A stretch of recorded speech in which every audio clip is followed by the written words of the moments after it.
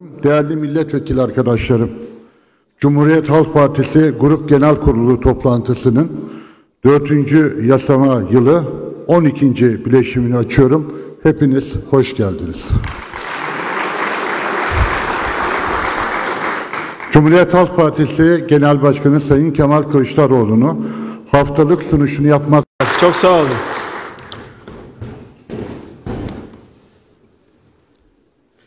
Sayın Başkan, değerli milletvekilleri, bizleri televizyonları başında izleyen saygıdeğer yurttaşlarımız, sosyal medya hesaplarında, radyolarında bizleri dinleyen bütün vatandaşlarıma en içten sevgilerimi, saygılarımı ve muhabbetlerimi gönderiyorum. Biliyorum, bir süreçten geçtik, bütçe sürecinden geçtik. Bu bütçenin 83 milyon vatandaşa getirdiği hiçbir artı yok. Bu bütçe tamamen tefecilere hizmet eden bir bütçedir. Kaynağın önemli bir kısmı faizlere ödeniyor. Dolayısıyla bu bütçeye bizim evet dememiz bizim felsefemize de aykırıdır. Sen işçiye ne veriyorsun? Emekliye ne veriyorsun? Esnafa ne veriyorsun? Manava bakkala ne veriyorsun? Sanayiciye ne veriyorsun? Sokak esnafına 6 milyon kişi ne veriyorsun? Memura ne veriyorsun? Hiçbir şey. Sonra bize dönüp diyorlar ki gelin bizim bütçemize destek verin. Bu bütçeye destek vermek vatandaşın mutfağındaki yangına yangını görmemek demektir. Biz neyi görüyoruz? Vatandaşın mutfağındaki yangını görüyoruz ve ona göre konuşuyoruz.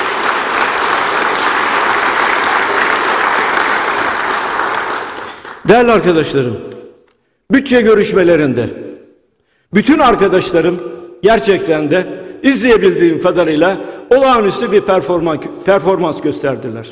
Bu vesileyle genel başkan olarak tek tek her bir milletvekiline teşekkür etmekte boynumun borcudur. Hepinize yürekten teşekkür ederim. Trabzonspor denince Özkan Sümer akla gelir. Onu kaybettik. Trabzonspor camiasına, spor camiasına başsağlığı dileklerimizi iletiyoruz. Trabzonspor'un onur üyesi olmaktan da ayrıca mutlu olduğumu ifade etmek isterim.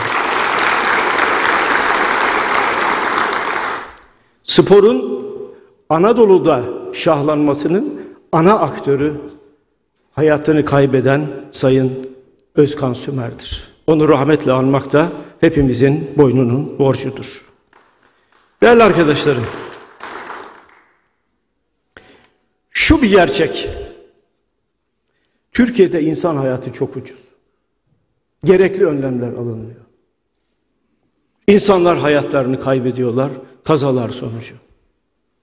Gaziantep'te bir üniversite hastanesinde patlama meydana geldi. 11 vatandaşımız benim bildiğim kadarıyla şu ana kadar 11 vatandaşımız hayatını kaybetti. Hepsine Allah'tan rahmet diliyoruz. Bu ve benzeri kazaların bir daha Türkiye'de olmaması en büyük dileğimizdir değerli arkadaşlar. Bir şey daha. Covid-19 dünyanın ortak sorunu ve bu ortak soruna karşı alınan önlemler yeterli mi? O kadar çaresiz ve stratejiden yoksunlar ki Covid-19 olayını yönetemediler. Hala yönetemiyorlar. Esnafa faydamız olsun dediler. Sanayiciye faydamız olsun dediler. Kuryeciye faydamız olsun dediler. Bakkala faydamız olsun dediler. Kahveciye faydamız olsun dediler. Program açıkladılar. Ta işin en başında. Efendim biz diyorlar otel ve uçak otelde konaklar ve uçakla seyahat ederseniz KDV'yi yüzde on sekizden yüzde bire indirdik. Hayattan bu kadar kopmuş bir anlayış. Yardım edeceklerine vatandaşa IBAN numarası verdiler. Ne olursun bize yardım et dediler. Bir hükümet. Salgın bir hastalık döneminde. Bana dünyada bir örnek göstersinler ya. Vatandaşına yardım etmek için vatandaşından dileniyor. Ya sen yardım edeceksin. Nereye gitti bu para? Covid-19 deyince bir esnafın cümlesi artık tarihsel bir cümle haline geldi. 40 yıldır bu devlete vergi ödüyorum, bana 40 gün bakamadı diye. Beş maskeyi yönetemeyen, dağıtamayan, dağıtmayı yönetemeyen bir siyasal iktidarın Türkiye'yi yönetmesi zaten mümkün değil. Zaten yönetemiyorlar Türkiye'yi. Bu gerçeği herkesin bilmesi lazım. Dün akşam itibariyle 18.351 vatandaşımız hayatını kaybetti. Hayatını kaybedenlerin, kaybedenlerin değerli arkadaşlarım 67'si galiba bildiğim kadarıyla eğer rakam değişmediyse sağlık çalışanları. Bu çok acı bir tablo arkadaşlar. İnsanı kurtarmaya çalışıyorsunuz ve insanı kurtarmaya çalışırken kendi hayatınızı feda ediyorsunuz. Bu vesileyle biz 216 affedersiniz 216 sağlık çalışanına Allah'tan rahmet diliyoruz ve bütün sağlık çalışanlarına gösterdikleri çabalar dolayısıyla da yürekten teşekkür ediyoruz. Hepsi olağanüstü bir çaba gösterdiler. Olağanüstü mücadeleyi hala sürdürüyorlar. Değerli arkadaşlarım, gündemde asgari ücret var. Milyonlarca kişi asgari ücreti bekliyor ne olacak diye. Bütçe görüşmelerinde açıkladık. Asgari ücretin net, vergisiz 3100 lira olması lazım. Bunu her yerde ifade edin. Önümüzdeki süreçte çok daha geniş kitlelerle bu konuyu gündeme getireceğiz. Asgari ücret olmuş neredeyse açlık sınırının biraz üzerinde ortalama ücrete dönmüş. Milyonlarca kişi asgari ücret. Asgari ücretten hangi vergiyi alacaksın? Hangi vergiyi alacaksın? Zaten geçinemiyor. Sen asıl vergiyi alması alınması gereken yerlerden vergiyi alacaksın. Uyuşturucu ticareti yapan adamdan vergi alacaksın. Organ ticareti yapan adamdan vergi alacaksın. Kara parayı aklamayacaksın. Kara parayla devleti dolandıranlardan vergi alacaksın. Tasarruf yapacaksın önce. Milletin önüne çıkarken ben tasarruf yapıyorum. Türkiye Cumhuriyeti Devleti'nde israfa izin vermeyeceğim diyeceksin. Bunlar yapılmıyor değerli arkadaşlar. Sıra asgari ücrete gelince para yok. Türkiye Cumhuriyeti Devleti'nde para var ama para asgari ücretliye verilmiyor. Nedir bu? Bu bir siyasi tercihtir. Bu bir siyasi tercihtir. O nedenle bütün asgari ücretlilere, bütün sendikalara sesleniyorum. Bize göre, yaptığımız hesaplara göre asgari ücretin en az vergisiz 3100 lira olması lazım. Bunun altında bir asgari ücreti doğru bulmuyoruz. Gerçekçi de bulmuyoruz. Değerli arkadaşlarım, şundan emin olmanızı isterim. Türkiye dünyanın en güzel ülkesi aslında. Karadeniz'i bilirsiniz. Yaylalarını bilirsiniz.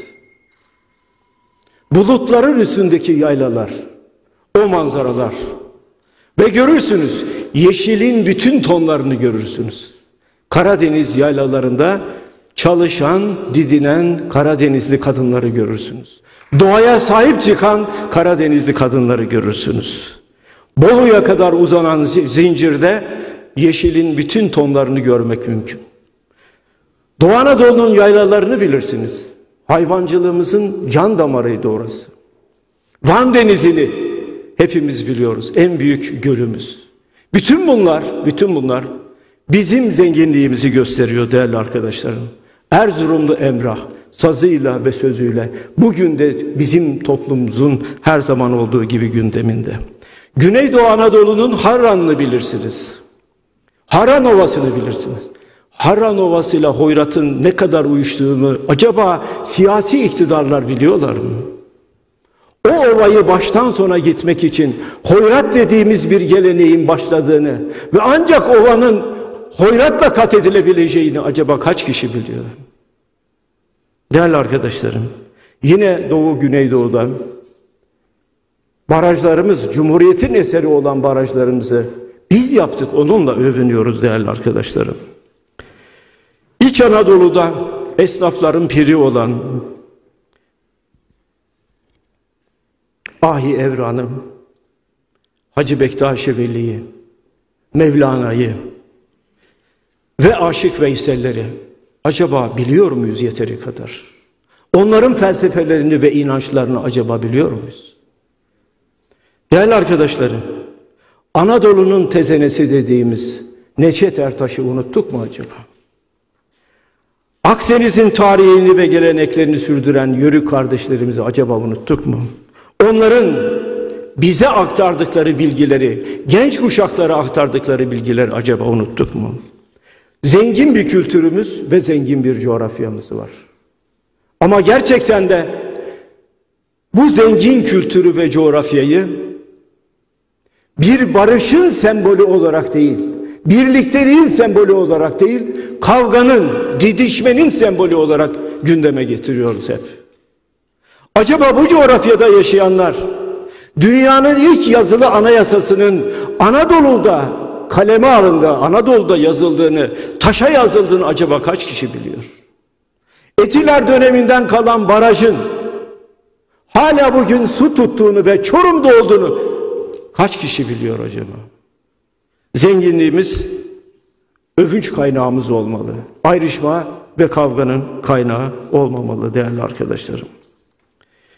Ama ayrışmanın ve kavganın kavgası yapan dünya malına tamah eden siyasetçilerdir. İktidarını korumak isteyen siyasetçilerdir. Kavgadan medet umanlardır. Ben saygıdeğer hanımefendi Seval Türkeş'i ziyaret ettim. Seval Hanım demokrasiye inanmış. Parlamentonun saygınlığına inanmış. Değerli bir insan.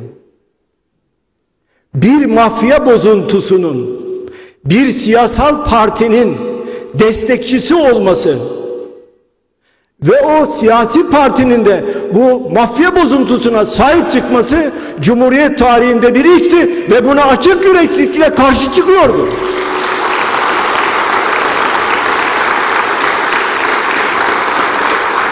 Mevlana'yı biliyoruz. Ama felsefesini biliyor muyuz?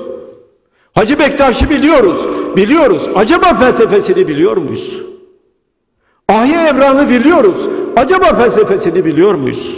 Yunus Emre'yi biliyoruz. Acaba felsefesini biliyor muyuz? Dördü de bu coğrafyanın insanı. Ne diyor Yunus Emre? Biz kimseye kin tutmayız.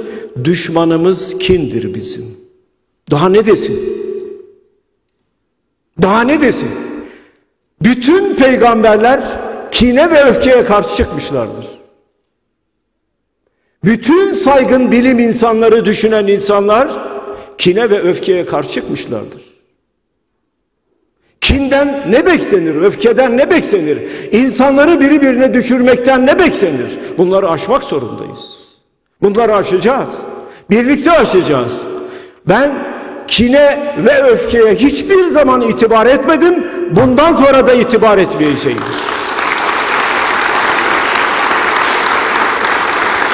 Anadolu coğrafyasının ve kültürünün o kadar büyük bir derinliği var ki çoğu siyasetçi farkında bile değil.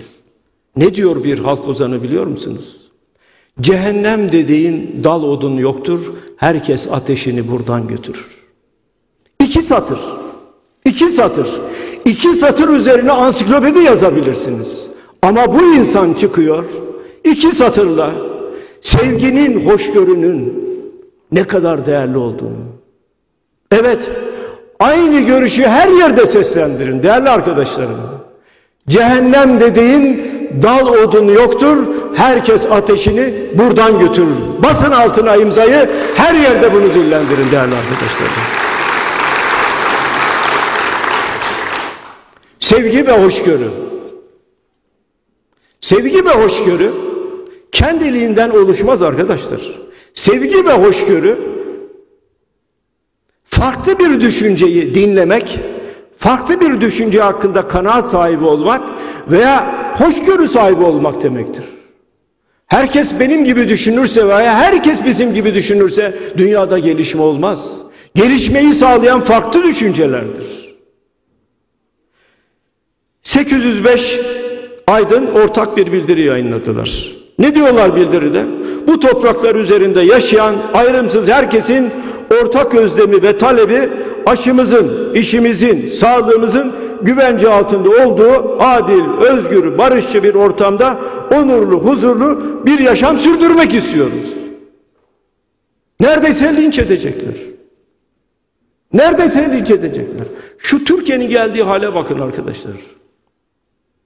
Katılırsınız veya katılmazsınız o ayrı bir şey. Ama eleştirinin de bir dozu vardır.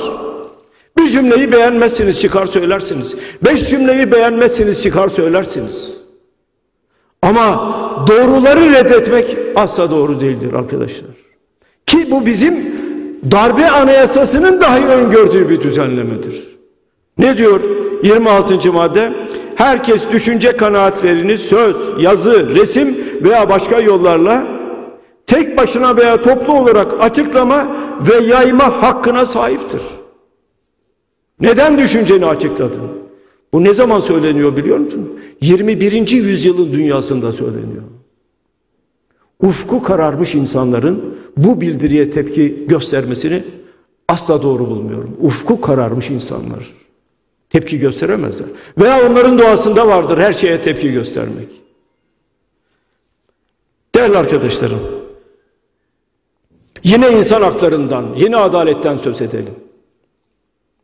Uşak'ta 30 üniversite öğrencisi gözaltına alınıyor. Kız öğrenciler bunlar ve çıplak aramaya tabi tutuluyorlar. Şimdi ben AK Parti'ye oy veren bütün seçmenlere seslenmek isterim. Sizin kızınız, sizin evladınız böyle bir muameleye tabi olduğunda, tutulduğunda acaba tepki gösterir misiniz? Evet tepki gösterirsiniz. Doğru mu? Asla doğru değil. Yanlış mı? Evet yanlış. Üniversite öğrencileri bunlar. Hangi gerekçeyle çırılçıplak soyup arıyorsunuz? Bunu Sayın Ömer Faruk Gergerlioğlu dile getirdi. Bunun tamamen yanlış ve yalan olduğu ifade edildi. Ve gerçek olduğu çıktı ortaya. Sayın Özlem Zengin, AK Parti Grup Başkan Vekili. Türkiye'de çıplak arama olduğuna asla inanmıyorum diyor. Yok böyle bir şey. Oysa var. Üstelik yıllardır var. Yönetilen devletin nasıl yönettiğinin farkında değil. Üstelik grup başkan vekili. Kız çocuklarını, kadınları çırılçıplak soyup arıyorsunuz. Neyle yapmışsınız bunu? Yönetmelikle yapmışsınız. Bu yönetmeliğin kaldırılması için 50 sefer çaba harcadık. Meclis araştırması istedik. Ama kabul etmediler. Şimdi siz bu hareketinizle kız çocuklarını, üniversitedeki kız çocuklarını kazanacağınız mı düşünüyorsunuz? Adalet sağladığınızı mı düşünüyorsunuz? Emin olun anlamakta zorluk çekiyorum. Emin olun değerli arkadaşlarım.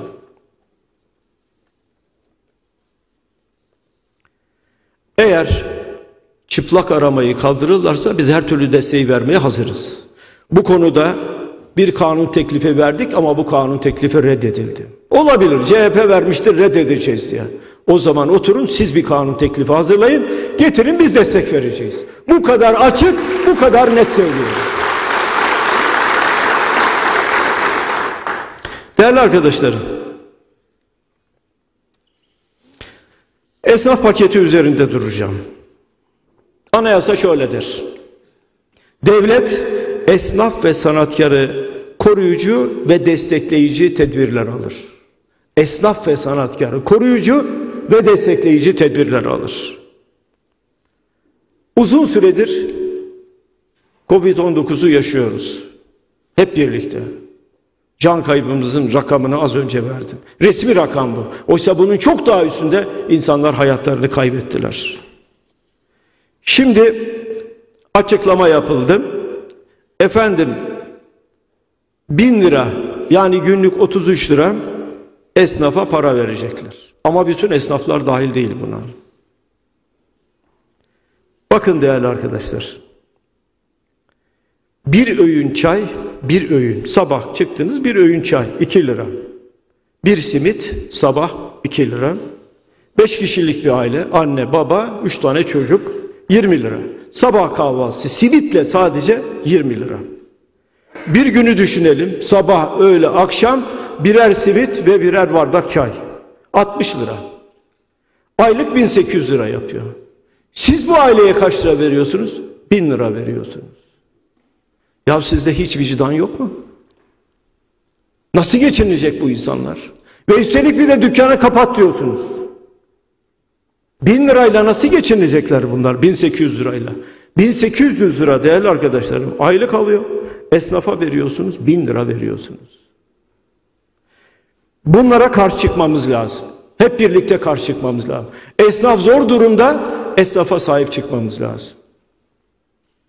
Bakın, sosyal güvenlik kurumlarının prim borçları için hiçbir şey yapılmadı değerli arkadaşlarım. Bir açıklama yok. Adam çalışmıyor ya. Gelir elde edemiyor. Primi nasıl ödeyecek bu?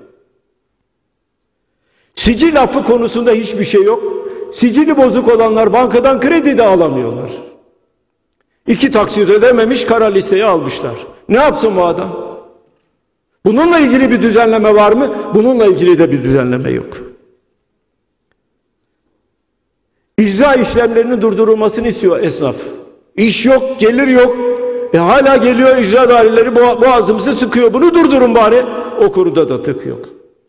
Günlük kazanıp günlük geçinen sokak satıcıları dediğimiz simitçiydi, efendim köfteciydi, seyyar satıcıydı, kestaneciydi, kokoreççiydi, tablacıydı, ciğerciydi.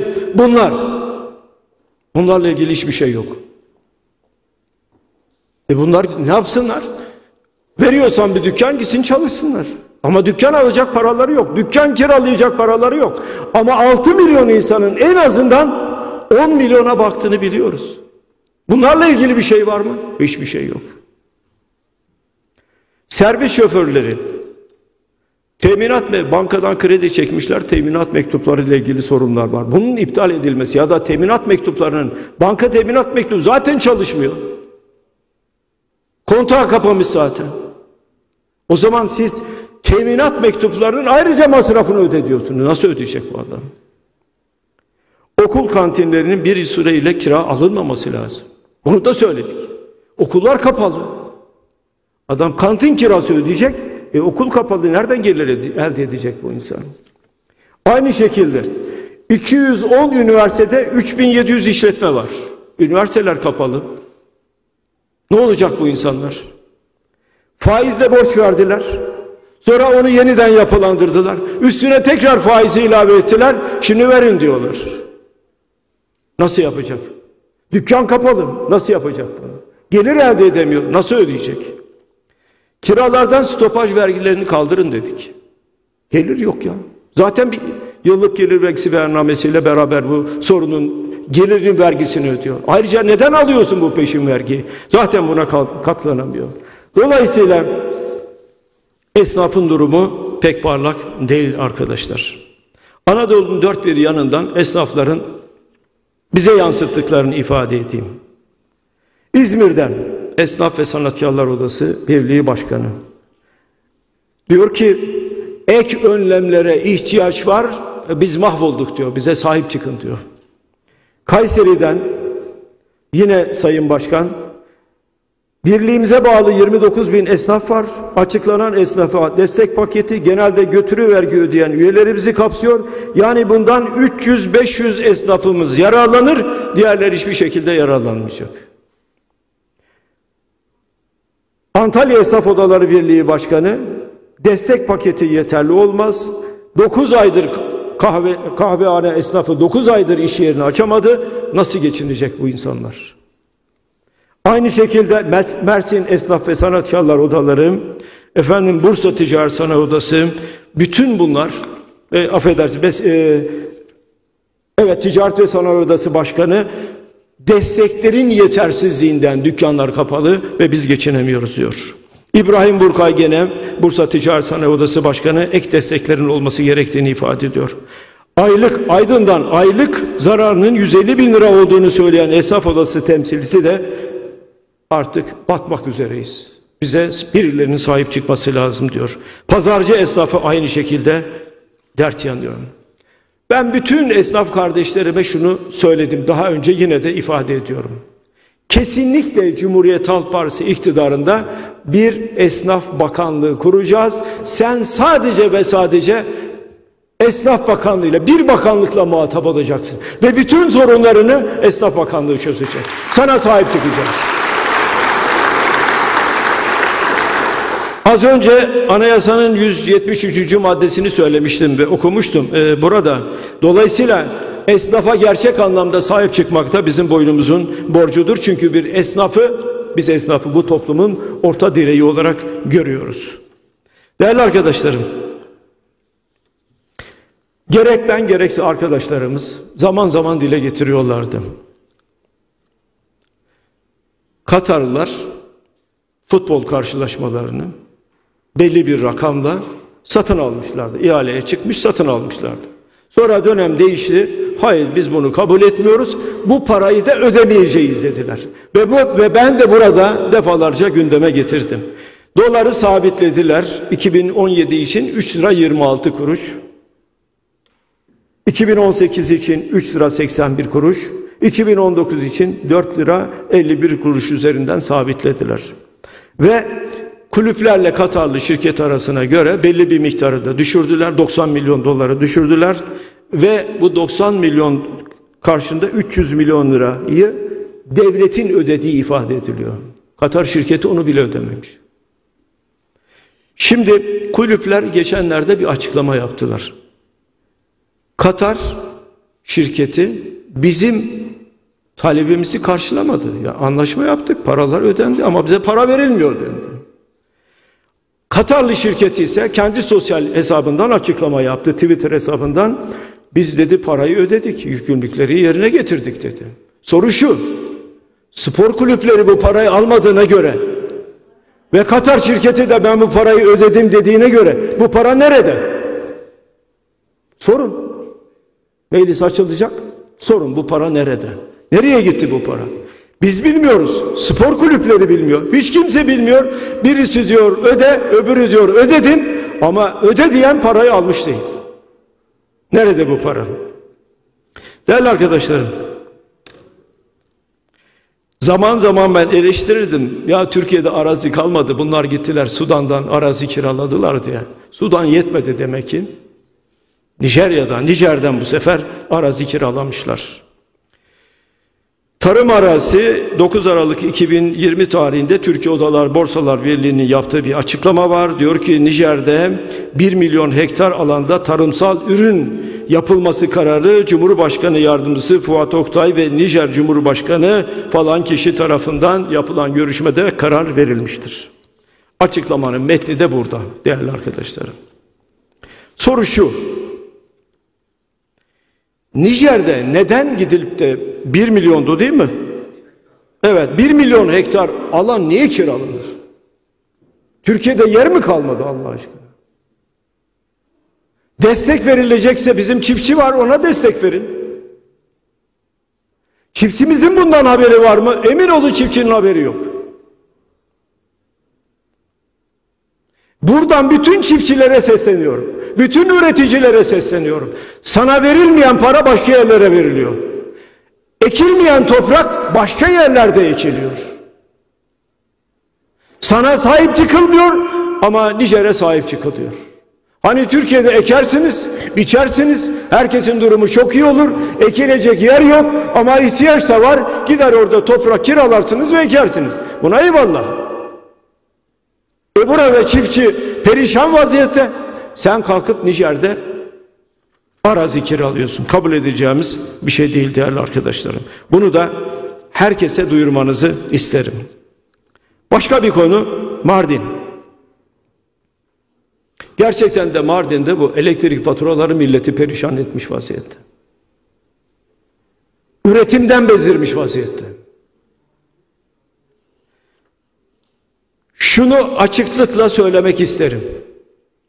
Cumhuriyet Halk Partisi'nin iktidarında bir sefer bu elektriği vatandaşın istediği koşullarda vatandaşa vereceğiz. Öyle DEDAŞ'mış, şuymuş, buymuş gerekirse devletleştireceğiz ve Mardinli üreticiye destek vereceğiz.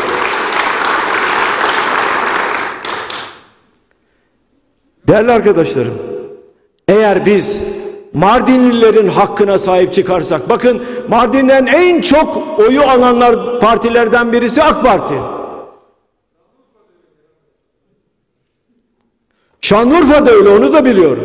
Orada da en büyük destek yine AK Parti'den alınıyor. Konya'da aynı şekilde biliyorum.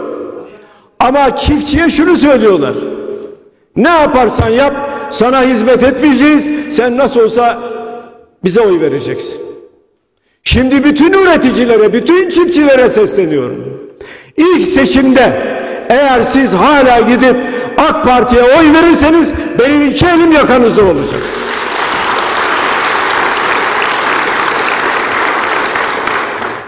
Anlamak mümkün değil.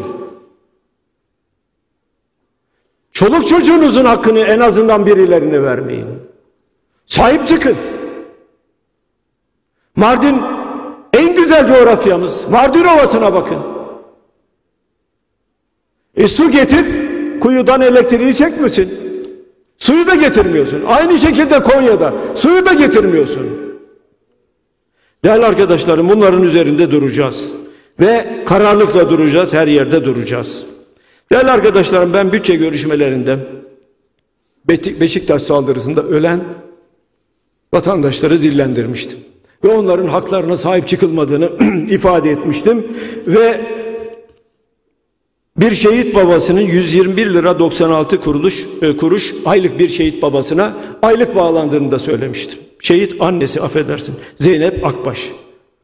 Söylemiştim. Bana itiraz edildi. İtirazı yapan AK Parti'nin Malatya Milletvekili Sayın Öznur Çalık. Ona şöyle dedim. 121 lira 96 kuruluş aylık bağlanmasına doğru diyorsanız yerinizde kalın. Doğru demiyorsanız görevinizden ayrılın. Ben makbuzu size vereceğim. Makbuz burada. Makbuz değil tabi. Yazı burada. Yazı burada.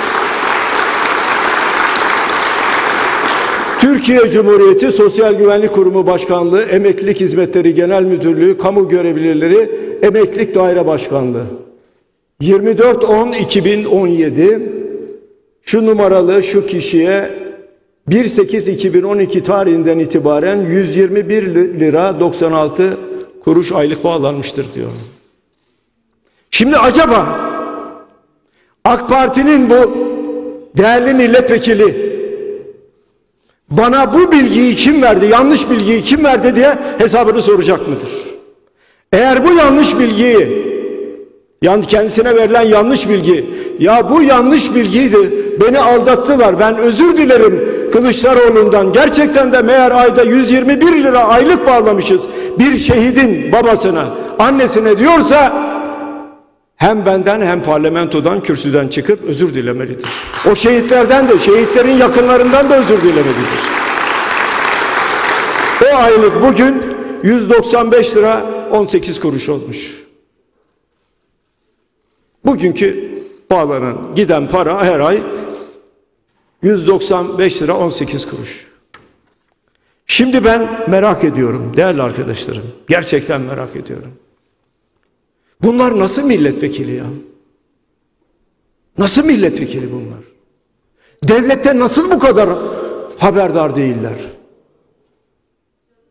Nasıl bizim verdiğimiz bilgileri yüzde yüz yanlış kabul ediyorlar? En azından ses çıkarmasın. Dersin ki ya şu Kılıçdaroğlu'nun söylediği rakamlar doğru mu? Açarsın bir sosyal güvenlik kurum başkanına sorarsın. Her verilen iktidar cenahından her verilen bilgiyi yüzde yüz doğru kabul ediyor. İktidar kanadından yani hükümetten size verilen her bilginin yüzde doksanı yanlıştır ve sizi kandırıyorlar. Ama benim verdiğim her bilgi yüzde yüz doğrudur. Yüzde yüz doğrudur. Şimdi bu makbuzları göndereceğim kendisine. Ve görevden ayrılmasını isteyeceğim. Veya benden özür dilemesini isteyeceğim. Bakalım yapacak mı? Değerli arkadaşlarım, konuşma sırasında Fuat Oktay da mecliste bir konuşma yaptı. Bu 121 lira 96 kuruluşla ilgili olarak. Şöyle diyor. Terör eylemi sonucu şehit olan bir polis memur, memurumuzun babasına 121.96 TL aylık bağlanması söz konusu değildir arkadaşlar. Nereden alıyorsunuz bu rakamları bilmiyorum. Rakamları Türkiye Cumhuriyeti Devleti'nden alın lütfen. Başka yerlerden rakam almayın. Yönünüzü Türkiye Cumhuriyeti Devleti'ne dönün. Biz yönümüzü nereye dönmüşüz? Sen yönünü saraya ve Erdoğan'a dönmüşsün. Biz yönümüzü 83 milyona dönmüşüz. Onun hakkını hukukunu savunuyoruz. Küçük bir rahatsızlık geçirmiş Sayın Oktay'a bu vesileyle geçmiş olsun dileklerimizi de iletmiş olalım. Değerli arkadaşlarım, şehitler hepimizin şehididir. Fuat Oktay'ın şunu söylemesini beklerdim. El, sadece Beşiktaş'ta hayatını kaybeden şehitlerimiz için 52 milyon lira para toplandı. 52 milyon lira. Nereye gitti bu 52 milyon lira? Bu ailelere dağıtılacaktı. Niye verilmiyor bu para? Kim el koydu bu paraya? Kim bu parayı yedi? Siz vicdanlıysanız, siz ahlaklıysanız, siz hakkı, hukuku ve adaleti gerçekten içselleştirmişseniz çıkıp bu 52 milyon lira nereye gitti arkadaşlar arkadaş diye sormanız gerekiyor. Devletin rakamlarına güvenin. Biz devletin rakamlarına güveniyoruz zaten. Bunlar devletin rakamı, benim rakamım değil. Ama sizin verdiğiniz rakamlara güvenmiyoruz. Siz toplumu da kendi partinizi de partililerinizi de aldatıyorsunuz, kandırıyorsunuz. Dilimde tüy bitti. Devlet yalan söylemez. Siz açıkça yalan söylüyorsunuz. Değerli arkadaşlarım.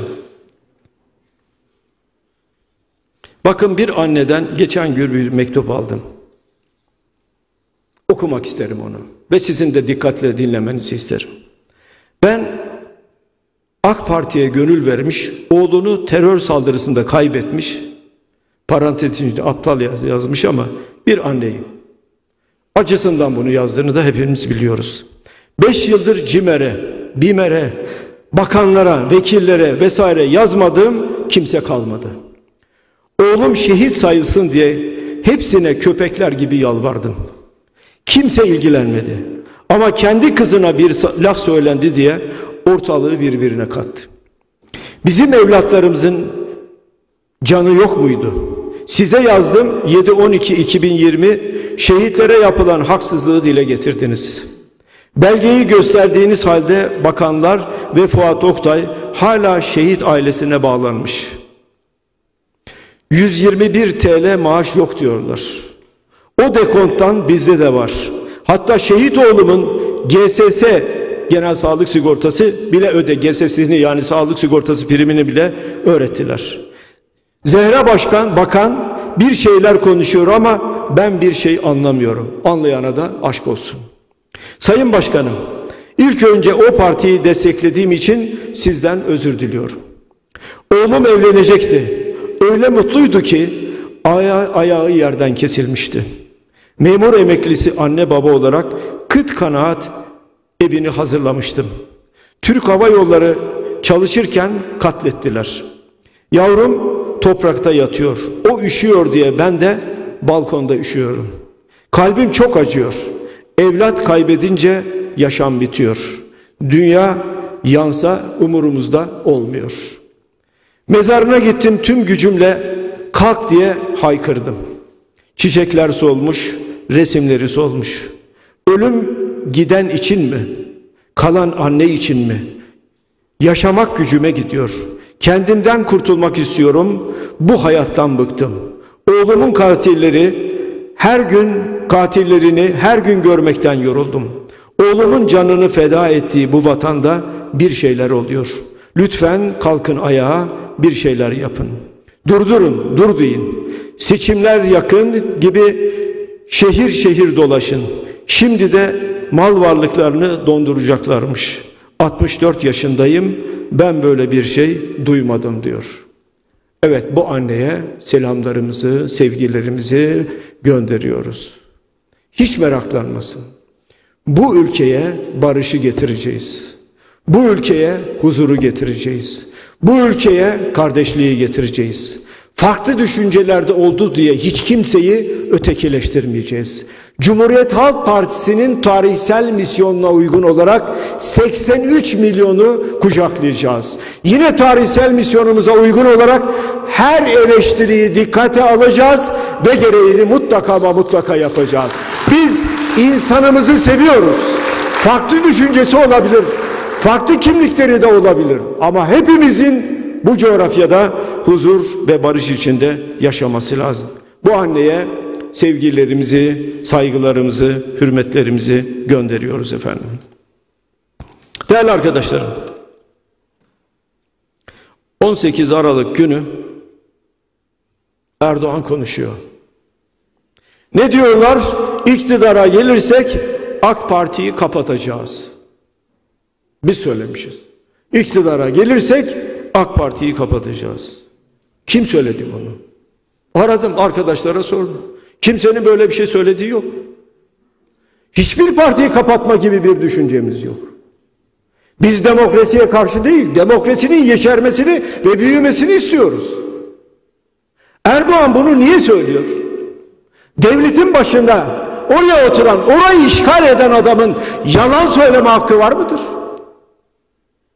Yalan söylüyorsun. Kendi seçmenlerine söylüyor. Bu ne demektir? Kini beslemek demektir. Öfkeyi beslemek demektir. Az önce Mevlana'dan örnekler verdik. Kin ve öfke yakışmaz. Doğruyu söyleyeceksin.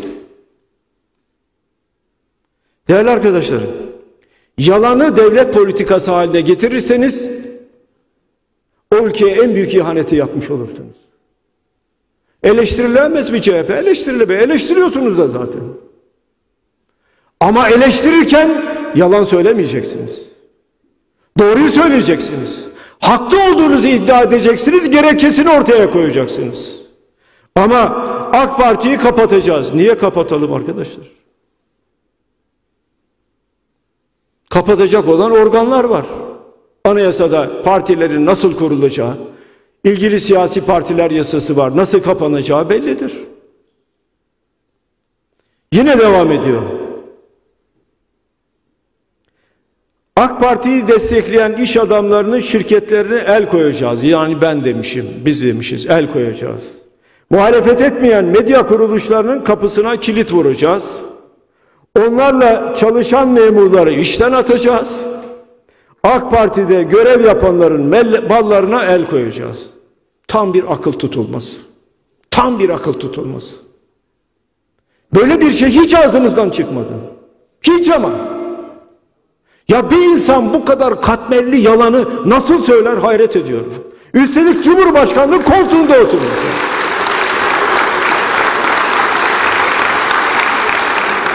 Söylenecek tek şey var yani. Allah akıl fikir versin. Olmayan bir şeyi olur gibi kalkıp bütün televizyonlarda veriyor tabi. Orada görüyor ve anlatıyor. Demokrasiyi bu ülkede koşulsuz savunan, bakın koşulsuz savunan tek partiyiz. Sayın Erdoğan bunu iyi bil. Bunu iyi bil. Yalan üzerine siyaset inşa edilmez ve çökersin. Bu kadar yalanı kim söylüyor ya? Nasıl söylüyorlar bunlar? Bunların danışmanı da mı yok? Bari Fahrettin'i alsaydın yanına. Pergüleci Fahrettin'i. Bari ondan isteseydin ya getir bakalım şu konuşmaları nerede ne zaman söylemişti ya. tam bir çöküş içindeler. Tam bir çöküş içinde. Yalan söyleyerek acaba kendi kitlemizi ikna edebilir miyiz ya? Sen kendi kitlene dön bir bak. Çoğu aç, aç, aç. Sen ona bir bak bakalım.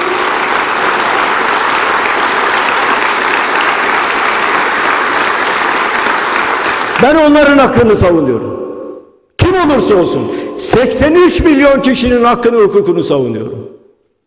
21. yüzyılın Türkiye'sinde hiç kimse çöpten ekmek toplamamalı. Ayıptır, günahtır. 18 yıldır sarayda oturuyorsun. Krallar gibi yaşıyorsun. Bir elin yağda bir elin balda. Bütün ailen öyle. 50 bin avroluk çanta taşıyorsunuz. Ben bunları bilmiyor muyum? Sonra bu çanta sahtedir derler. O çanta doğrudur. Ama siz milletten koptunuz. Vatandaştan koptunuz. Vatandaşın hakkını, hukukunu aramak değil, nasıl servet edinirim, servetimi nasıl bir- biriktiririm, onun arayışı içindesiniz.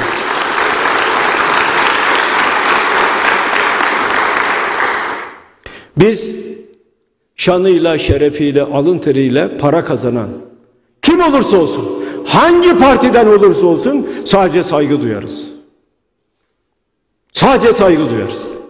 Ama devletin hazinesini soyana kimse kus- kusura bakmasın hesabını sorarız. Tüyü bitmemiş yetimin hakkının hakkını ben savunmayacaksam kim savunacak? Savunacağız. Biz hep beraber savunacağız.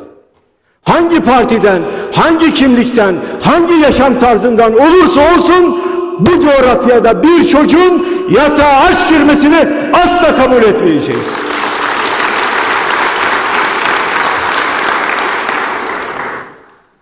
Devletin nasıl soyulduğunu hepimiz biliyoruz. Devleti soyanların iktidarını bu ülkeye anlatacağız. Mal varlıklarını açıklayamıyorlar. Mal varlıklarıyla devleti yöneten tehdit ediliyorsa o ülkede ciddi bir sorun var demektir. Çıkıp meydan okumuyorsun. Araştırmazsanız namersiniz diyemiyorsun. Sesin bile çıkmıyor. Neden? Bu fakir fukaranın hakkını kim soracak? Biz soracağız. Halk Partisi, Cumhuriyet Halk Partisi bu ülkede fakirin fukaranın hakkını sonuna kadar savunacak.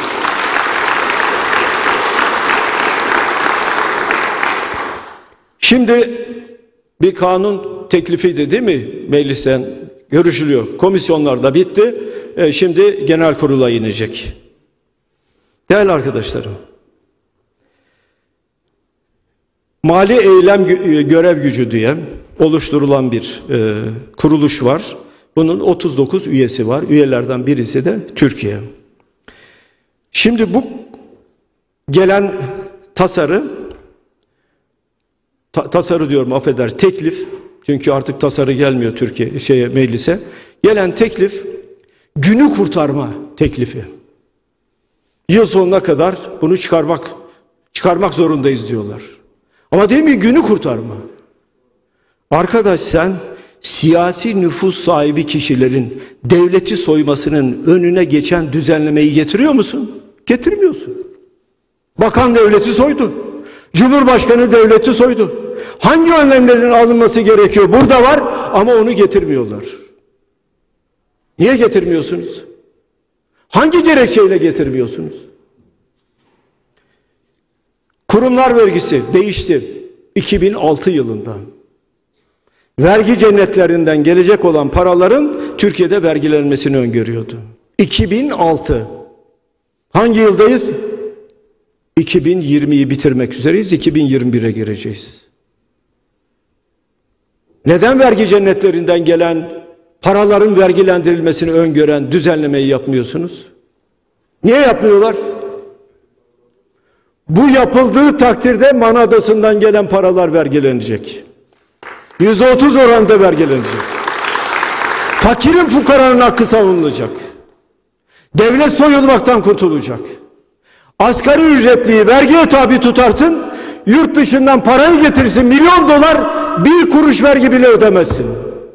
Şimdi ben yani Cumhuriyet Halk Partisi olarak biz asgari ücretlinin hakkını mı savunacağız? Yoksa dışarıdan milyonları getirip beş kuruş vergi vermeyen adamın mı hakkını savunacağız? Biz Halk Partisiyiz. Emeklinin, emekçinin, alın teri dökenin, esnafın, sanayicinin hakkını savunacağız. Türkiye'den paraları götür, yurt dışında ne yapıyorsan bilmiyoruz. Arkasından buraya getir, sıfır vergi öde. Neden? Niye buraya koymuyorsun? Bu kanuna niye koymuyorsun? Koyamazlar. Niçin? Dışarıda malları var. Ve bundan sonra da götü- götürecekler. Bunu da kabul etmiyoruz değerli arkadaşlarım. Uyuşturucu paraları, organ ticareti yapanların paraları, fuhuş üzerinden para kazananlar, insan ticareti yapanlar, malları Türkiye'ye getirirler, kazandıkları paraları Türkiye'ye getirirlerse sıfır vergi. Hiç vergi yok. Şu Adalet ve Kalkınma Partisi'ne bakın Allah aşkına. Şu kendisini muhafazakar parti olarak tanıtan partiye bakın.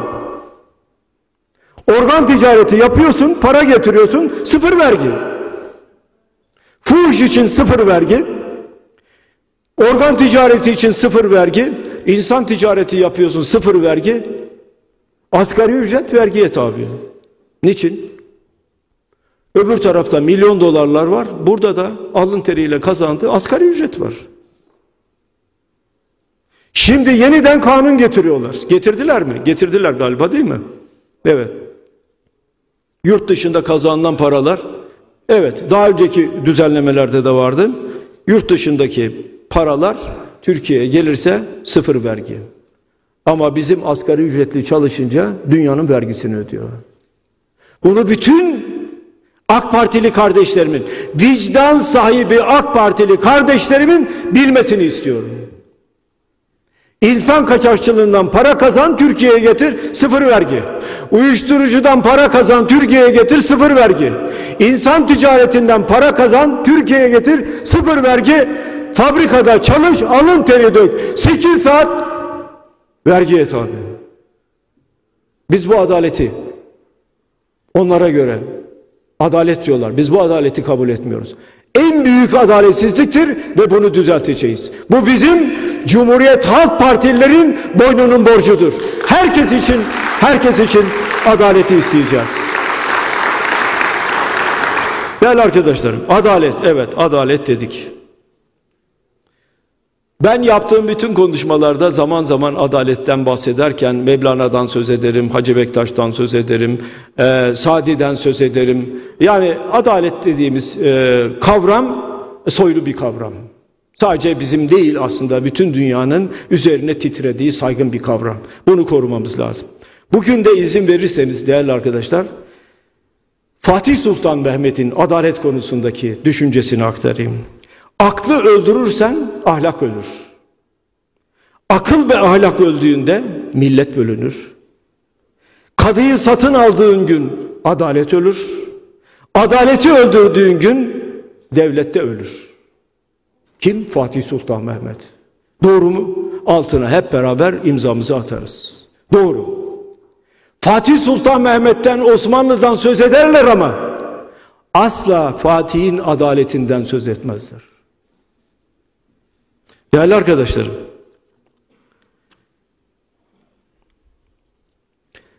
adaleti dağıtan kurumun adı adliyedir. Yani hakimlerdir.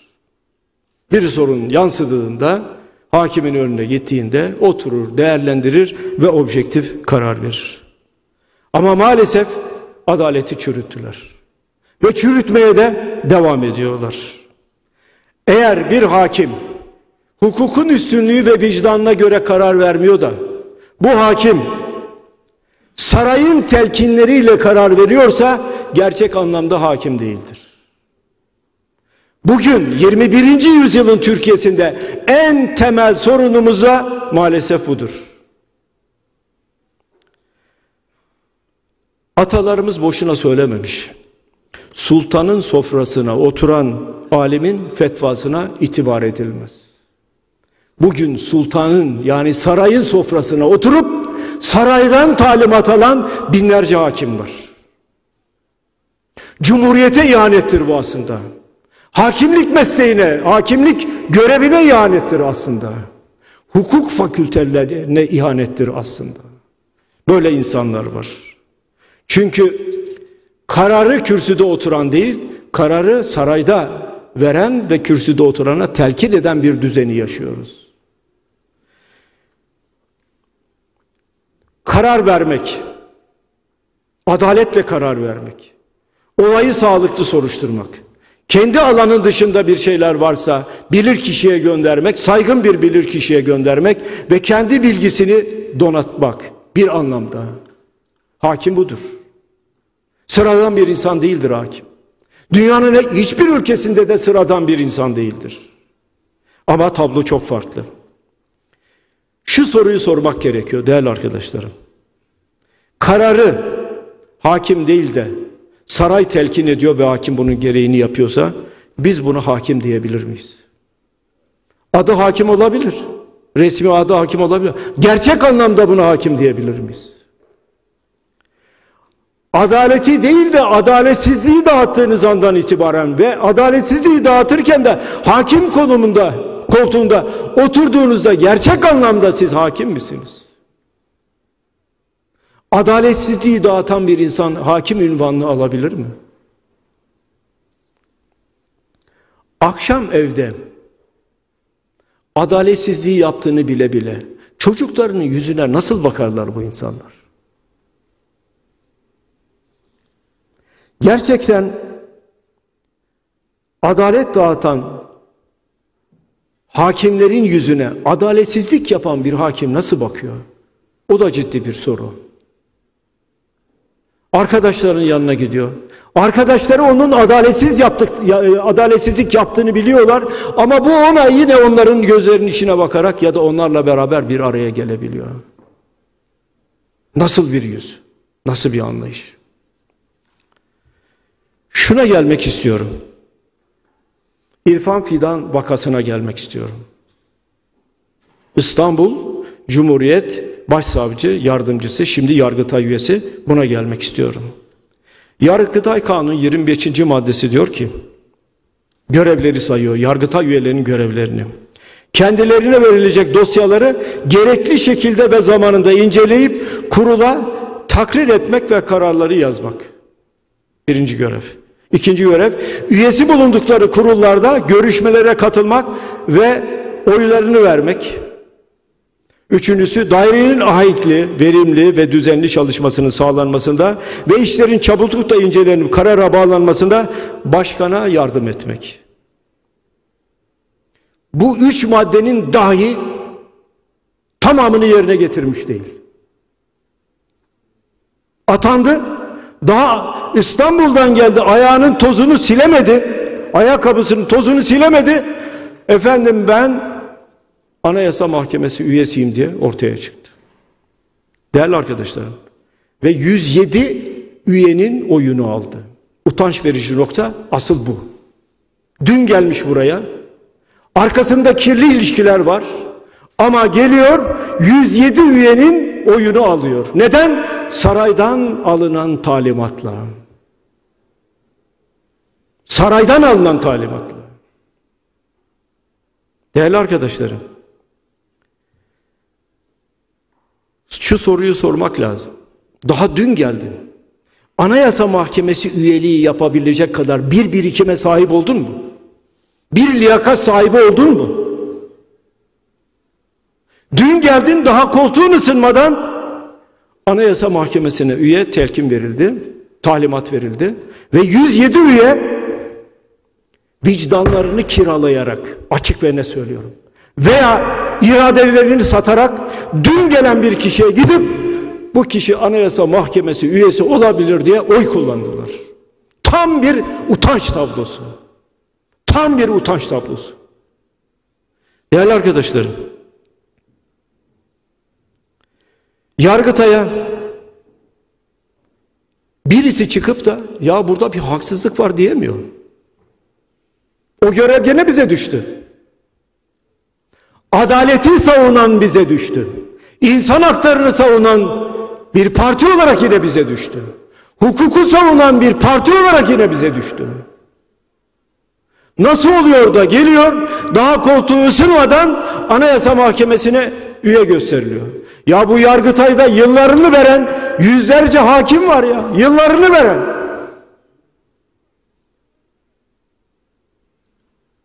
Nasıl oluyor böyle bir tablo? Değerli arkadaşlarım. Öyle bir tezgah kurdular ki bu kişiyi Anayasa Mahkemesi'ne üye yapmak için. Öyle bir tezgah kurdular ki normalde 2 Aralık'ta yapılması gereken seçimleri korona nedeniyle ertelediler. 17 Aralık'ta bu geldi. Ondan sonra seçimler başladı. E şimdi korona yok mu? Şimdi bakın adalet dağıtması gereken bir kurumun adil olması gereken bir kurumun adaletsizliğin altına imza atması kadar acı bir şey var mıdır arkadaşlar? Bu bir üst mahkeme, yüksek mahkeme bu mahkeme. Kendi hakkına ve hukukuna sahip çıkmaktan aciz olan bir mahkeme. Yüzyıllık tarihi olan bir mahkeme. Bir kişiyi anayasa mahkemesine bir kişinin talimatıyla göndermek için eğilip bükülen, bükülen, talimatla hareket eden bir mahkemeyi tablosunu siz dünyaya sergileyemezsiniz. Sizin böyle bir hakkınız yok. Ama yaptılar. Yapmaya da devam ediyorlar. Yargıtay bir de kendi internet sitesinde misyonunu belirlemiş. Şöyle diyor.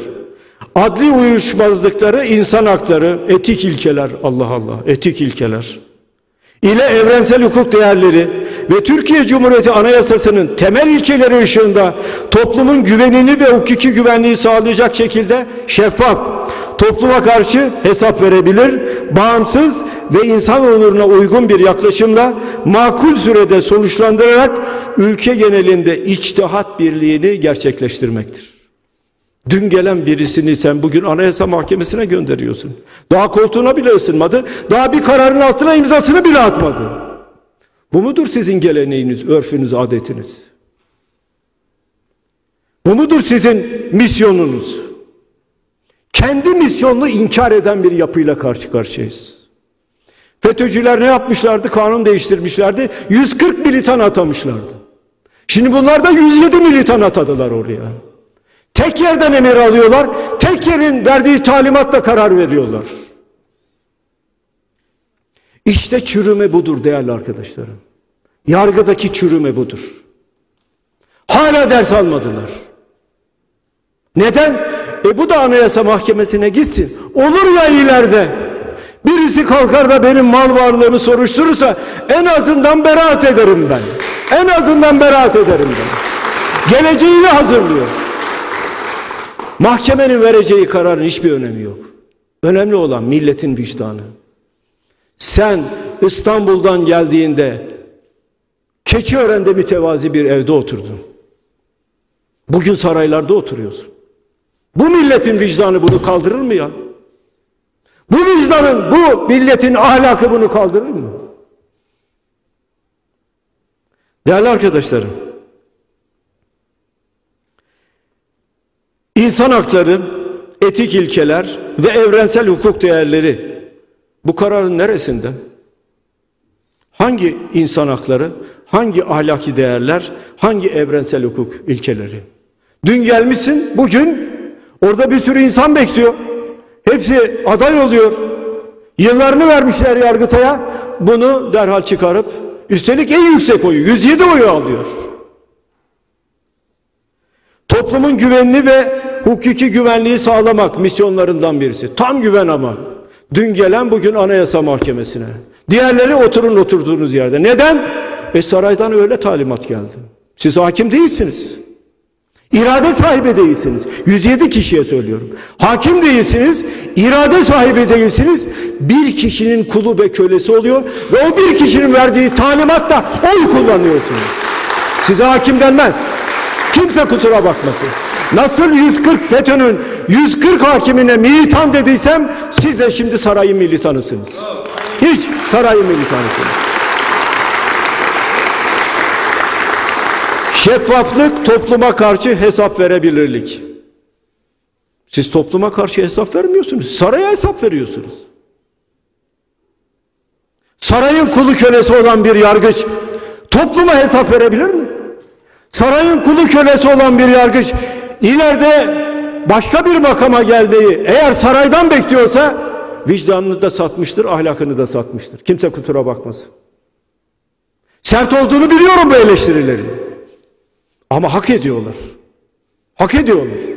Ben bunları ya söylemezsem tarihe karşı görevimi yapmamış olurum. Ben bunları söylerken bütün namuslu hakimlerin ve savcıların hakkını ve hukukunu savunuyorum.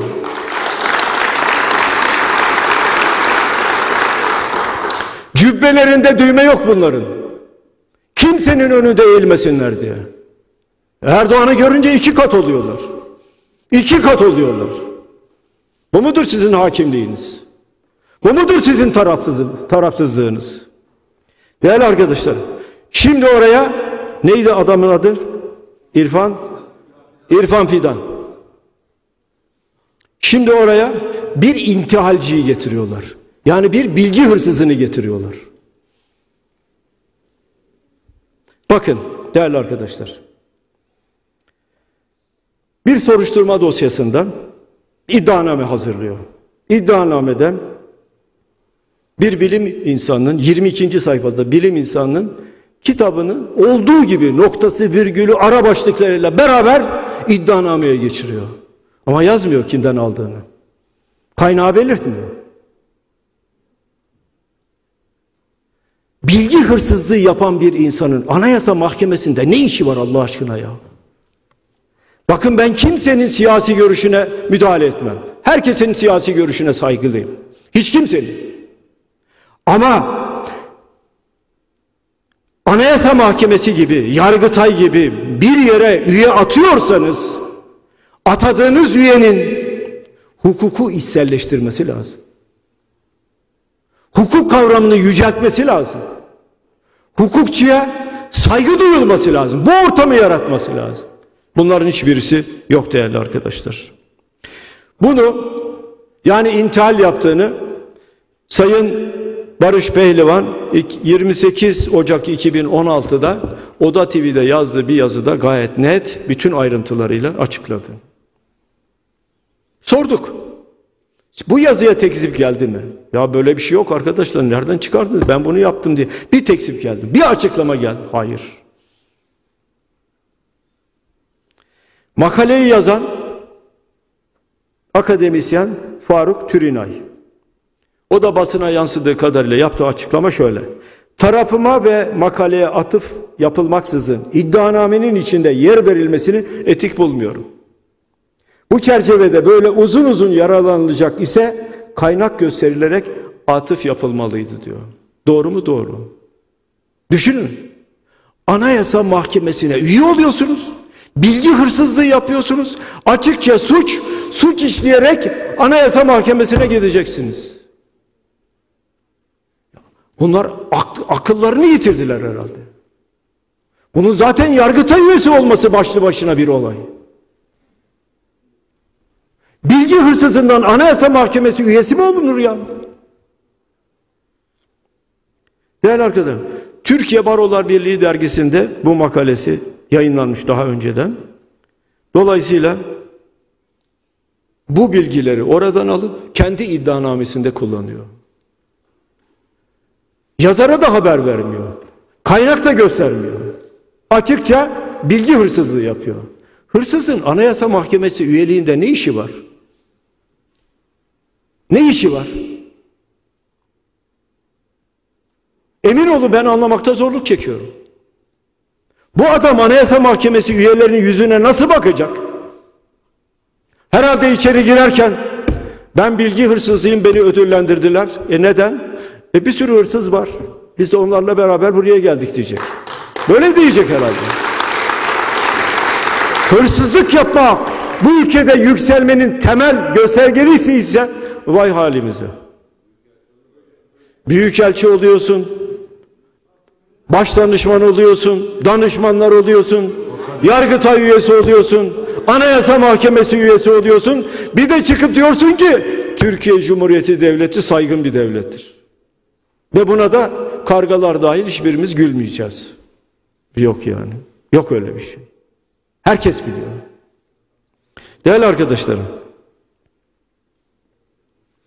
Bakın eğer bu bir akademisyen olsaydı ve YÖK'te tartışılsaydı yani bir bilgi hırsızlığı yapılsaydı ilgili madde YÖK kanununda başkalarına ait özgün fikir, metot ve e, metot, veri ve eserlerini bilimsel kurallara uygun biçimde atıf yapmadan kısmen veya tamamen kendisine ait gibi göstermek üniversiteden atılmanın gerekçesidir.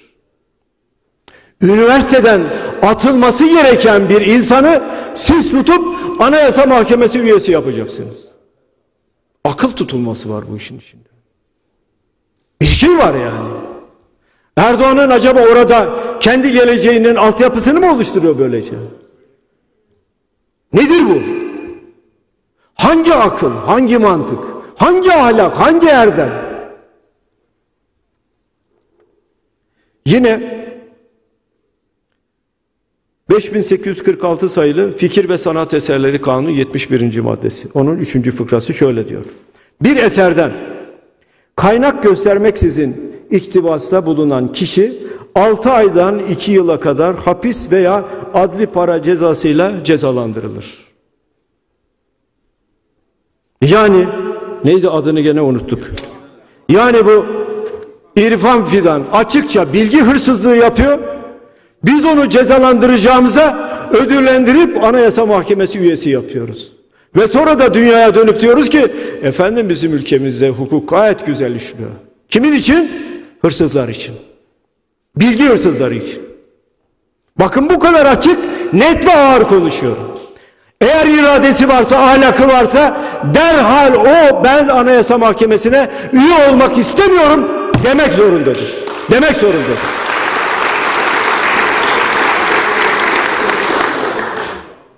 Değerli arkadaşlarım.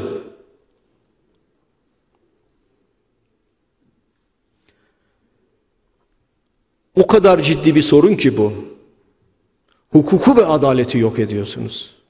Bir suçluyu, potansiyel bir suçluyu devletin en yüce makamına hakim olarak seçiyorsunuz. Ya bütün dünyayı güldürmeyin bari bize. Değerli arkadaşlarım. Yargıtay'ın 107 üyesine seslenmek isterim. Yani bu bilgi hırsızlığı yapan kişi Yargıtay üyesi. O Yargıtay'da bütün üyelere seslenmek isterim. Yargıtay sıradan bir kurum değildir. Ahlakın, bilginin, erdemin egemen olduğu bir kurumdur. Yüzyılın üstünde bir tarihi vardır. Hiç kimsenin kendi tarihine ihanet etme hakkı ve hukuku yoktur. Herkes kendi geçmişiyle övünür. Her kurum kendi geçmişiyle gurur duyar. Hiçbir kurumun tarihini reddedip bir kişi için ve sarayın talimatıyla bir kişi için hukuksuzluğu baş tacı ediyorsa o kişiyi değil önce kurumu yıpratır. Kurumu yok eder. Kurumun saygınlığına gölge düşürür. Biz 140 militan atandığında da aynı itirazları yapmıştık. FETÖ örgütünün 140 militanı atandığında da aynı itirazı yapmıştık. Tarih bizi haklı çıkardı. Anayasa Mahkemesi sıradan bir mahkeme değildir. Bari dünyayı kendimize güldürmeyelim.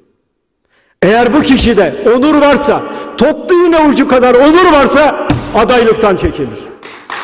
Ben çekiliyorum de. Bakın bugüne kadar çok farklı görüşlerde kişiler seçildi ve atandı. Hepsine saygı gösterdik. Yargıçtır. Yargıcın da bir siyasi görüşü olur. Ama düşüncesi hukuk üzerine inşa edilmek zorundadır. Kararları hukuk üzerine inşa edilmek zorundadır. Kendi iradesini saraya ipotek edenden hakim olmaz. Kendi geleceğini sarayın belirlediği bir ortamdan doğru dürüst hakim çıkmaz. Biz oraya siyasi militanlar yerleştiriyoruz? Yoksa adaletli e, davalara baksın diye hakim mi gönderiyoruz? Bunların bakılması lazım. Yargıç kimdir değerli arkadaşlarım? Bu da önemli.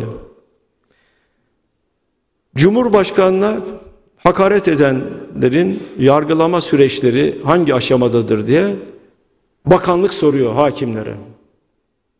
Bir yürekli hakim diyor ki ben cevap vermem buna diyor. Ben cevap verdiğim takdirde irademin ipotek aldığına girdiğini ve irademin bir anlamda sorgulandığı ortaya çıkar. Cevap vermem diyor. Sen misin cevap vermeyen? Bunu Afyonkarahisar'a sürüyorlar. Afyonkarahisar'a. İşte bunlara hakim denir. İradesini satmayana, güce iradesini satmayana, halktan yana, adaletten yana olanlara hakim denir. Soruyorlar Anayasa Mahkemesi üyeliği için sonuçları şöyle değerlendiriyor. Hiçbir kuşkum yok ki gün gelecek bu olanlar yargımız adına ibretle anılacak. Tarihe not düşmek için söylüyorum. Yargıç olarak kendi adıma utanç duyuyorum. Sonra devam ediyor. Protokol makamı başsavcılıktan gelmiş, bir gün bile fiilen yargıtay üyeliği yapmamış biri, Anayasa Mahkemesi'ne atanacak üye adaylar seçiminde Yargıtay üyelerinden en çok oyu almış. Oysa yargıçlık deneyim ve liyakatinden yararlanılsın diye Yargıtay'dan Anayasa Mahkemesi'ne üye gider diyor. Tamamen bunların dışında bir tablo. Evet, bunu yakından takip etmeye devam edeceğiz. Son bir konu değerli arkadaşlar, ona da kısaca değineyim. Hırsızdan büyük elçi olmaz dedik. Özellikle ayakkabı kutularından e, para derleyip toparlayan kişilerden büyük elçi olmaz. Türkiye Cumhuriyeti Devleti'ni hırsızlar te- temsil edemez. Yine mahkeme dosyalarından çıkardığımız 1 milyon 1 milyon dolar mıydı? 1 milyon şu anda hatırlamıyorum. E, karşılığında e, yine para alan birisi de rüşvet alan birisinin de dosyası bilgisi Mahkeme dosyasındaydı. O da büyükelçi oldu. Şimdi değerli arkadaşlarım, devlette liyakati ve devlette ahlakı egemen kılmamız lazım. Hırsızdan büyükelçi gördük. Evet, hala görüyoruz. Devleti arpalığa çevirip 4-5 yerden aylık alanları ve bunu da bir marifetmiş gibi kamuoyuyla paylaşanları da gördük. Şimdi de sahte diplomayla, sahte diplomayla bankalara yönetim kurulu üyesi olarak atananları gördük. Bu sahtekar eski AK Parti milletvekili AK Parti'nin resmi internet sitesine baktığınızda orada lise mezunu olarak görülüyor. Türkiye Büyük Millet Meclisi'nin resmi internet sitesine baktığınızda da orada da üniversite mezunu olarak görülüyor. Yani sahtekarlığı hayatının her tarafında bulunuyor. Ve bu sahtekar aynı zamanda Cumhurbaşkanlığı baş danışmanlığı görevini de yapıyor. Şimdi yapıyorum diyorum bilmiyorum ama bir dönem Cumhurbaşkanlığı baş danışmanlığını da yapıyor. Ya Cumhurbaşkanlığı makamına baş danışmanlık görevi için bir sahtekara görev verilir mi ya? Aklımın alacağı şey değil. Sahtekar mı sahtekar? Dosyası sahte mi affedersin diploması evet sahtekar. Sahte bir diploma. Ve siz bunu getiriyorsunuz. Türkiye Cumhuriyeti Devleti'nin Cumhurbaşkanlığına danışman, üstelik baş danışman olarak atıyorsunuz. Pes ya. Şu devletteki çürümeye bakın. Şu ahlaktaki, ahlaki zemindeki kaymaya bakın. Değerli arkadaşlarım. Diyor ki bu gündeme geldiğinde meydan okuyorum diyor herkese. Meydan okuyorum diyor. E, ve dolayısıyla da sahte diploma almadığını bir anlamda itiraf ediyor. Mahkeme kararını okuyorum arkadaşlar. Mahkeme kararı. Şöyle savunma yapıyor bu sahtekar eski milletvekili.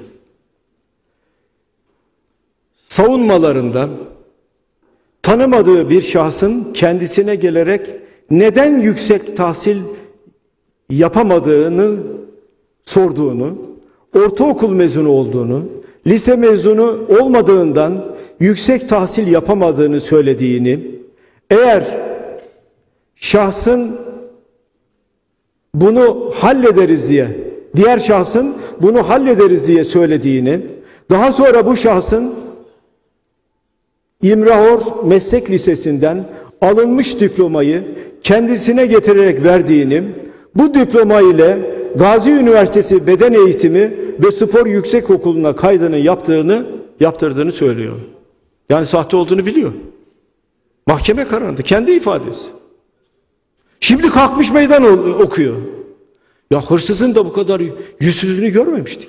Emin olun yani. Bu kadar yüzsüz. Ya mahkeme kararı sen söylemişsin. Hakim de yazdırmış zaten. Hala diyor ki ispat edin. Neyi ispat edelim ya? Hakimim, hakim hayatta mı bilmiyorum. Yerinde mi bilmiyorum. Bir yere sürüldü mü bilmiyorum. Ama bu adamın, bu Hamza neydi? Hamza Yerlikaya'nın bir numaralı sahtekar olduğunu artık Türkiye Cumhuriyeti Devleti'nde herkesin bilmesini istiyorum. Bir numaralı sahtekar. Sahte diplomayla iş mi yapılır ya? Değerli arkadaşlarım. Değerli arkadaşlarım. Gerçekten de acı verici bir olay. Gerçekten de bakıldığı zaman. Olacak şey değil. Aklın kabul edeceği bir şey değil. Yavuz hırsız ev sahibini basar diyorlar öyle miydi tam şey? Evet, evet. Tam bir Yavuz hırsız. İsterim bakın bu kadar ağır eleştirime karşın isterim beni mahkemeye vermesini. Hiç değilse bu mahkeme kararlarını götürüp hakimin önüne koyarız. Değerli arkadaşlar, ne yapmalı Hamza, Hamza Yerlikaya sahte diplomayla bankaların yönetim kurulu, bir bankanın yönetim kurulu üyeliğine atandı. Tam yerine atanmış. Bankayı soyarsa hiç kimse şaşırmaz. Hiç kimse şaşırmaz. Bence Hamza Yerlikaya biz haksızlık yapıyoruz. Küçük bir yere atamışız. Hamza Yerlikaya'yı mutlaka Hazine ve Maliye Bakanı yapmalıyız. Veya olmuyorsa Merkez Bankası'na başkan olarak tayin etmeliyiz. Bekliyorum. Acaba saraydan bir ses gelecek mi? Tık yok. Tık yok. Bir meşhur tekerleme vardı. Şu şunu şu şunu şuradan tanır diye. Herhalde bunlar da birbirlerini gayet iyi biliyorlar ki. Ya sen boş ver. Malı götürmeye devam et. Ben senin arkandayım mesajı veriliyor herhalde. Ama buradan bütün vatandaşlarıma sesleniyorum. Asla ve asla moralinizi bozmayın. Asla bozmayın. Her şeyi düzelteceğiz. Her şeyi. Türkiye'ye bütün ilişkilerin insani bazda gelişmesini sağlayacağız ve bunun sözünü veriyoruz. Türkiye'ye ahlaklı bir siyaseti getireceğiz ve bunun sözünü veriyoruz. Hırsızın, dolandırıcının, ihale takipçisinin mecliste işi olmayacak, milletvekili de olmayacak bunlar. Milletvekili olan onurlu olacak. Milletvekili olan saygın olacak. Milletvekili olan düzgün insan olacak. Milletvekili olan insana saygı duyacak. Milletvekili olan doğaya saygı duyacak. Milletvekili olan kul hakkı yeniyorsa hiçbir siyasi görüş farklılığı göstermeksizin üzerine yürüyecek. Milletvekili olan birisi Türkiye'nin çıkarlarını kendi çıkarlarının üstünde asla ve asla tutmayacak. Milletvekili olan toplumun arasında onuruyla başı dik gezecek. İhale takipçisi bir milletvekiline kim saygı duyuyor? Biz ahlakı egemen kılacağız. Biz sevgiye egemen kılacağız. Biz kavgayı değil, oturup uygarca insan gibi tartışmayı egemen kılacağız. Biz haklıyla haksızı tartışırken yalan söyleyeni bu çatının altında tutmayacağız. Biz dün atanan kişiyi daha koltuğuna oturmadan bir üst makama atanmasını hiç kabul etmeyeceğiz. Hatırlarsınız değil mi? Benzer olayı FETÖ'cüler yapmıştı. Bir müsteşar yardımcısını Yıldırım hızıyla, müsteşar Yıldırım hızıyla da Anayasa Mahkemesi'ne üye yapmışlardı. Nerede o şimdi? Hapiste. Biz bunları biliyoruz. Tarihin çıkardığı önümüze koyduğu bütün bütün dersleri iyi okuyacağız. Biz Cumhuriyet Halk Partisiyiz. Bizim yüreğimize insan sevgisi var. Biz Cumhuriyet Halk Partisiyiz. Biz yolsuzluklara karşı kul hakkını savunmak için elimizden gelen her türlü çabayı gösteririz. Biz Cumhuriyet Halk Partisiyiz. Biz bütün düşüncelere saygı gösteririz. Biz Cumhuriyet Halk Partisiyiz. Bu topraklarda yaşayan her çocuğun karnının doymasını isteriz. Biz Cumhuriyet Halk Partisiyiz. Bu, bu, coğrafyada, bu coğrafyada yaşayan bütün çocukların akşam huzur içinde yatmalarını isteriz. Biz Cumhuriyet Halk Partisiyiz. Bütün çocuklarımızın en güzel okullarda okumasını isteriz. Biz Cumhuriyet Halk Partisiyiz. Demokrasimizi ve cumhuriyetimizi seviyoruz. Ve 21. yüzyılda güzel cumhuriyetimizi gerçek anlamda bir demokrasiyle taşlandıracağız. Hepinize sevgiler, saygılar sunuyorum. Oturumu kapatıyor, saygılar sunuyorum.